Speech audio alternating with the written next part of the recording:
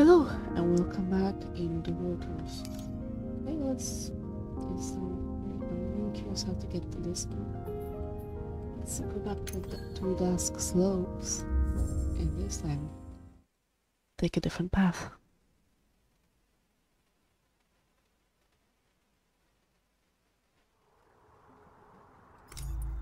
It's interesting though that each time we're going back to the ship, it takes us around five hours get used to it.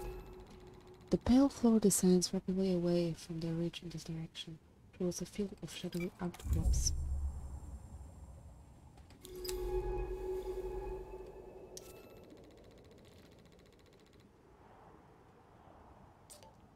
What is that? It looks like a whole menagerie of creatures caught in a silken net. A mass of tentacles and growths unlike anything I've seen. It's difficult to understand the anatomy of these creatures just by looking. Another group of towers rises toward the pale light, each strata piled with silver thread.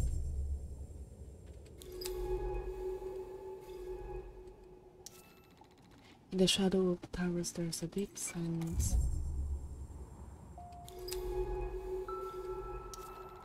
From between the towers a pale blue light flickers over the rocks.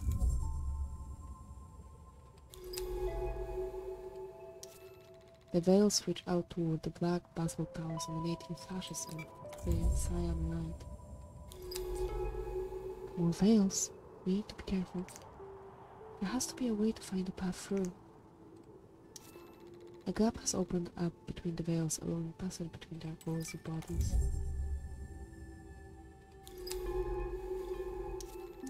This veil is in the process of splitting away from the rest of its body. Is this how the veils are born, or is this an injury? Even on the far side of the time tangle, the veil's light can be overwhelming, multiplying my shadow in all directions. This close to a veil, the light is unbearably intense. Its repelled presence leaving ghosts and rituals.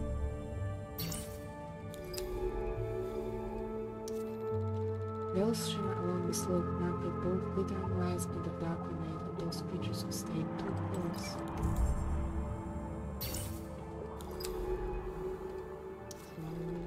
Flying by the tower, leads even deeper down the slope. Just way go through.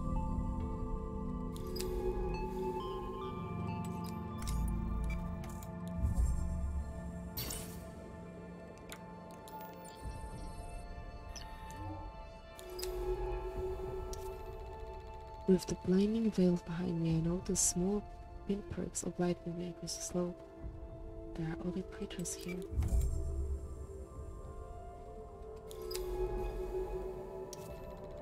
This outcrop hides a wealth of life, from long logged corals until the figures and blue shapes which filled through the soot slants.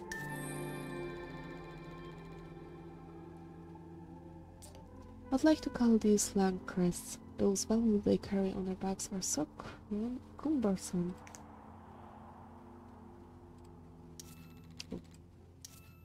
A shelled crab-like creature which scavengers the ocean floor in search of nutrients carries a slime bubble on its back. These pale pulsing creatures seem to seem so passive I'm going to start taking notes on them. These ovoid creatures sit pulsing on the edge of the deep oasis. They are glassy and soft like partially boiled, shellless eggs.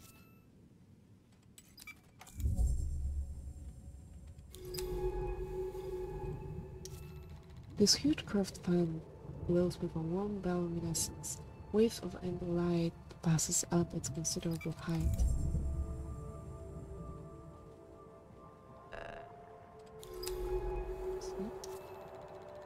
Occasionally, this creature stops and unfolds its tentacles in chambers to cover a broad area of water.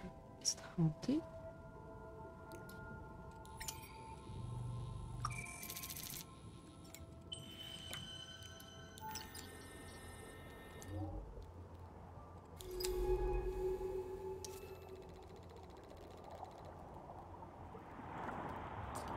These creatures are so fast. Their dark glow makes them hard to see, but let's keep checking them. These rapid swimming lobster-like creatures have dark shells with very large translucent tails. They move so fast. Unlike the bloom swans, these deep water variants are covered with a translucent sheet of mucus which protects their delicate spines. On closer inspection, these petals are solid growths, not fragile objects. They sit like thin tree stumps in the sand, each on its own sidewalk, side stalk. I'm going to name these cold fire baits, uh, bayfires. They seem to be strongly linked to the light of those lands. These white petal-shaped plants gather in groups and grow in the light of deep sea lands. Their pollen fills the water around each stem. From this side, to this arrangement of pulsing and glowing forms, nestled into the puzzle is a sanctuary of life and light.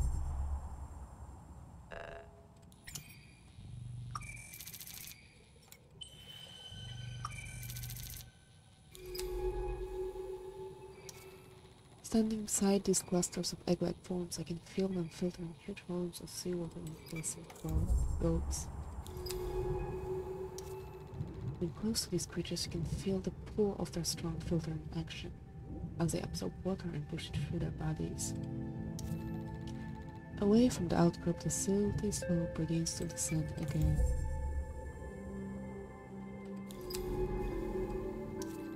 Large fields of veils those pale blue light appears unpleasantly cold in comparison to the well, the oasis. No wonder Minae's are recently modern, these veils are everywhere. Like on Earth, they must rely on predation to survive the deep, where the sunlight reaches. A large tangle of veil stretches out ahead, producing a silent light that softly flickers in the dark.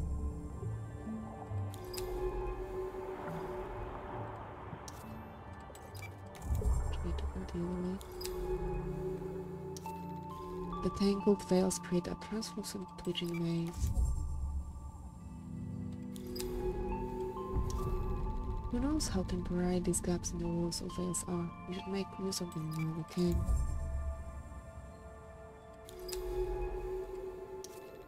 There's beauty to being inside a field of veils, a song of light that makes it impossible to keep a sense of direction.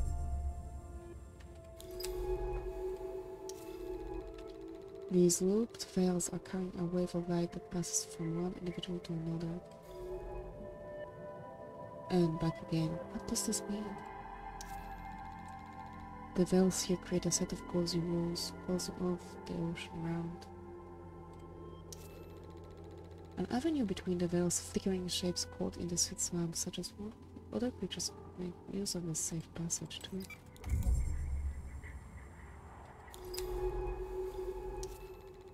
Like city lights beyond a curtain, I can see the warm pinpricks of an oasis behind this waxy veil. Some creature has shed or lost a segment of its tail shown here. Among the veils, it looks small enough to sample.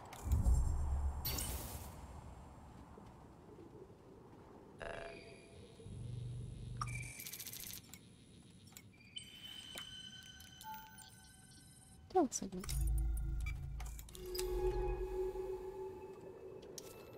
The veils are coming together ahead. I hope this gap will remain open long enough for us to pass through.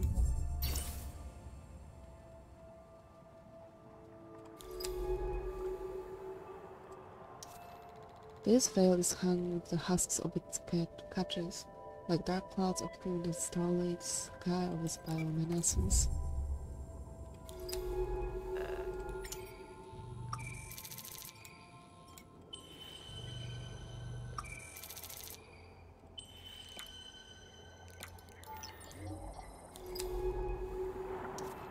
Past the drifting sheets of another of light skirts around the edges of the tangle. A mutual predator to the veils, perhaps.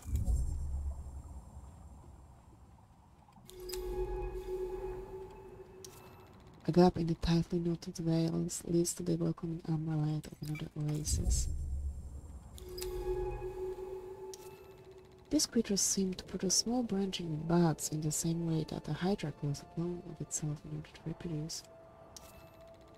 At this creature's interior sits a sphere surrounded by a reflective membrane, bathed in the light from the transparent sections in its body.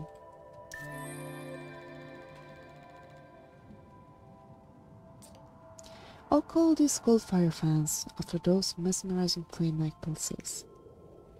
Feel their feeding fans that, beneath a mucus sheath, pulse with warm light, often surrounded by other creatures benefiting from their glow. It is hard to tell if this is a colonial creature or a single individual. Whichever it is, we should keep our distance to avoid those tentacles. This fan shimmers with waves of cold fire, bathing the surrounding oasis in warm light.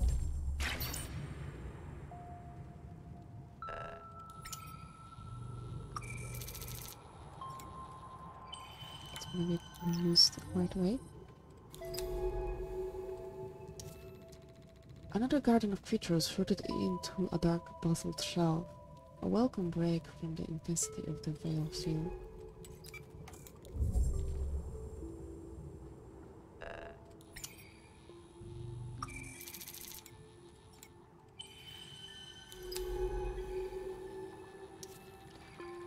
The veils seem to sit away from these basalt shells, beginning to seat themselves into the silty dark between the rocks.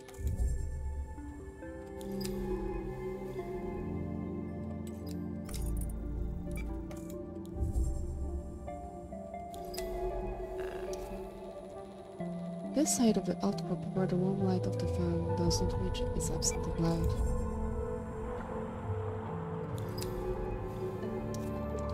At the edge of the outcrop in the light sand slope, a shallow burrow leads down, eggs glint within. It sampled them here.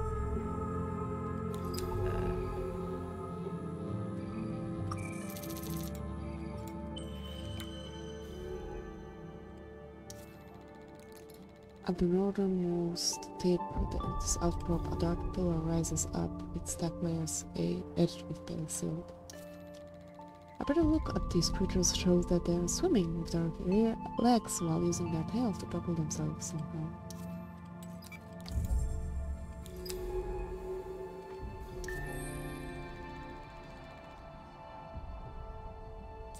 I'm calling these cryptic creatures water bulbs. Let's see what we can uncover, uncover about them back in the lab. Partially transparent egg-shaped creatures which feed by filtering water. A strange sphere sits inside their iridescent interior. These pale pulsing creatures have noticeable growth budding off from their central form. You could sample them here.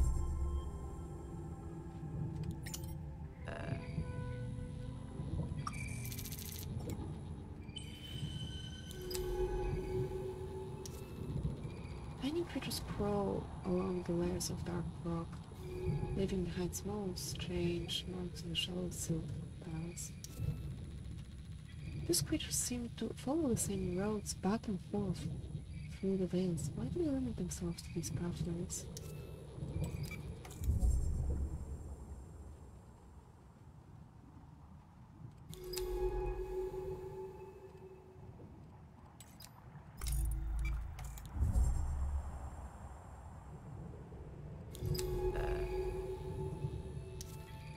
As the basalt shelf sinks back into the sill of the ocean, the floor falls into, the hu into a huge field of glittering veils.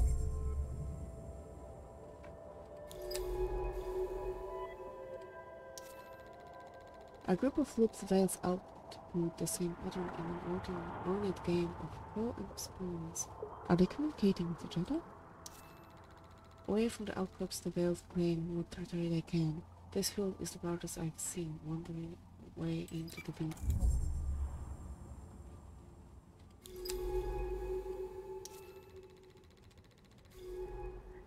A split in the veils leads into, into the ornate interior, navigating this huge tangle will be a struggle.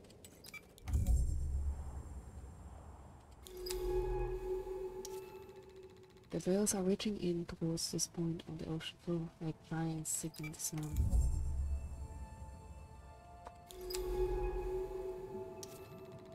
From this little point of the tangle, it is impossible to see beyond many pools of the ocean below.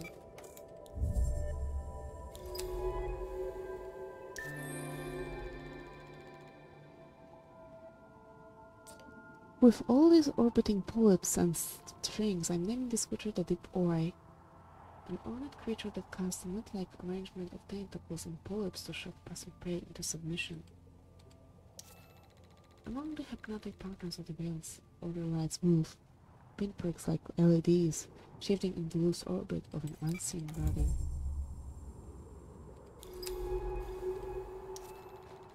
The tangle turns back on itself, revealing new paths into its interior.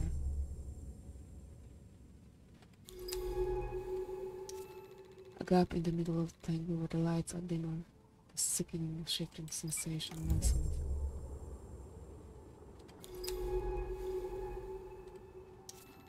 Here the veils closing towards his shoulders, is passing up and swirling towards gentle waves.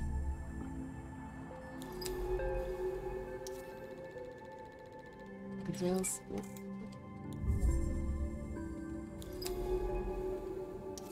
The veils meet here, but through their translucent skin I can see the dark shape of an outcrop. Unlike the other outcrops, this dark crop is being invaded by the veils subsumed by the turbulence. Something clouded and purple in the silk beyond the veil looks small enough to sink a hole. Uh.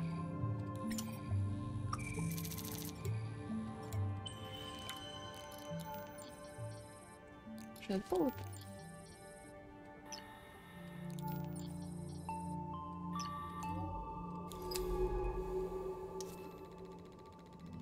The are encroaching on its position, the outcrop silently holds out against cold chemical light.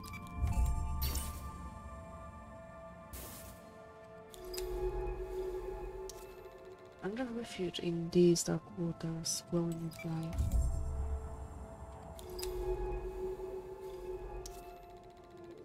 Surrounded by its audience of light-bathing petals, the false sh shift shimmers like bonfire.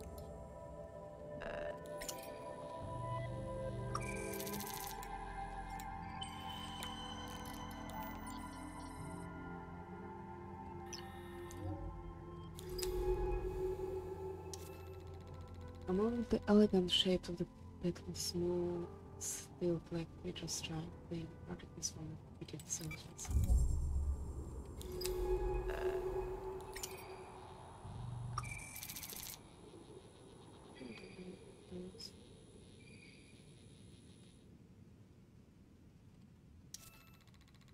At the edge of the light from the farm, the petals are pale and twisted away, perhaps turning to another source of food. Faint flickers light silhouette a tall pillar of basalt shards, rising up into the faint glow above.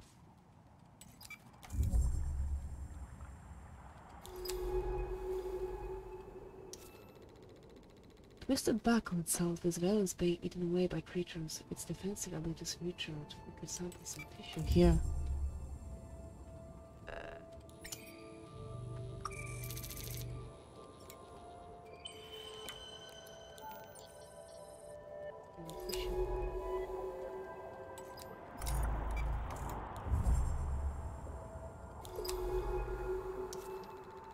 The tangles of veiled clothes around the outward here increasing, encasing it in a prison of night.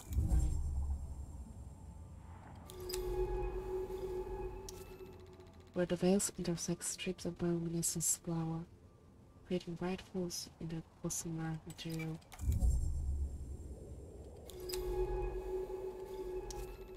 After the last veil, the dark returns.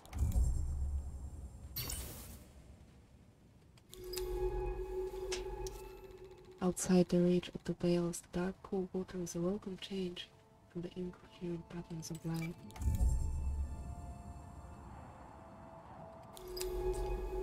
We seem to be through. No more veils ahead. Unlike the other outcrops, this one is free of life. Is proximity to the veils vital Rado's illness by existence?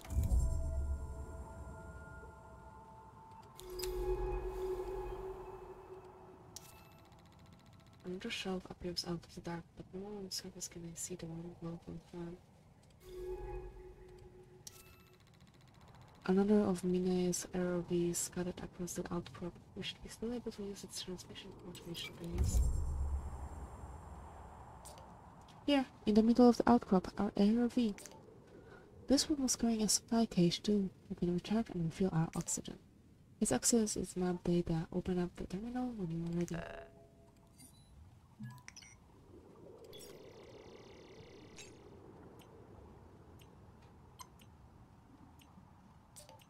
It seems like this ROV was disabled by the Veils like the other one. This can't be right. The mapping scans report a large physical anomaly just north of here. From the data it looks like a structure? That's impossible. Maybe the Veils fried the sensors. Either way we should, we should go check it out. Past the shelters, only the dark of the descending slope.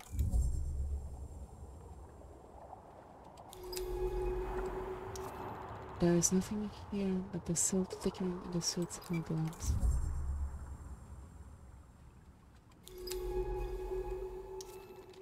Some strangely geometric rocks sit in the dark. I'm calling this abyssal shape sail shells. Those white label plates are instantly recognizable. Small, dark creature with a large translucent tail shell that allows it to rapidly move through the water, navigating the veil tangles safely. Some strange geometric rocks sit in the dark. What are these formations? And this is where we're gonna end this part. For now, thank you very much. Stay alive and see you soon. Bye!